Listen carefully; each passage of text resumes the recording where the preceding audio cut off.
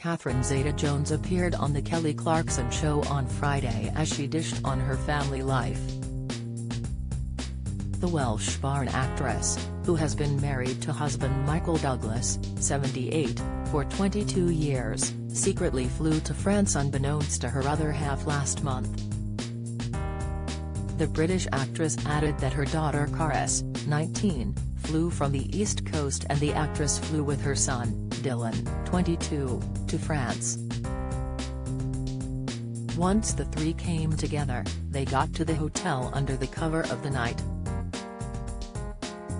When Douglas arrived at his hotel room from work, his family surprised him. But Michael's initial reaction scared his wife Catherine. It comes after Kelly asked, how's the family doing though? To which the Wednesday star replied, they're doing great. Actually, Michael has been in France for what seems like a lifetime, shooting a really great project. So the kids and I actually surprised him for Thanksgiving. He had no idea. Catherine went on, we flew in and got to the hotel under the cover of night. He came home from work and there we were. It was one of those. I thought he was going to have a heart attack for one minute. She added, he stumbled back and went, oh my god. And started crying. Kaylee was taken aback by Catherine's heartwarming story as the actress added that it was one of those great, great, great moments. To that the host expressed, oh, I love that. I love a good surprise. The Welsh actor, who currently stars as Morticia Addams in Netflix series Wednesday, appeared on Late Night with Seth Meyers to discuss her forthcoming role in National Treasure, Edge of History.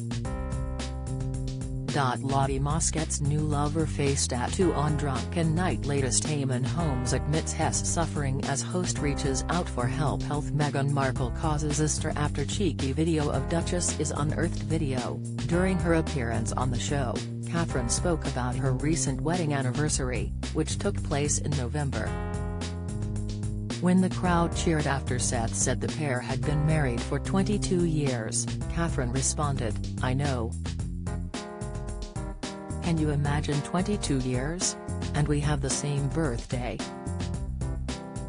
So 25th of September is our same birthday. She then pointed at the audience, and added while jokingly grimacing, 25 years difference. Not the same day. Discussing how they celebrated the anniversary, Zeta-Jones said, we went off to Morocco, it was absolutely fabulous, actually. Elsewhere, Michael recently made an appearance sporting a dramatic new look. The Hollywood veteran is set to star in a biopic of Benjamin Franklin, currently being filmed in France. He was spotted in full Benjamin costume, wowing onlookers with his uncanny resemblance to the late philosopher. It comes as the actor surprised fans with his extra long locks.